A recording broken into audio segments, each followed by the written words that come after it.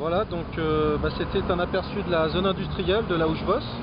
On était environ à 18 mètres et on a une jolie vue sur les, sur les panneaux solaires. Voilà. Allez, bisous à tous, ciao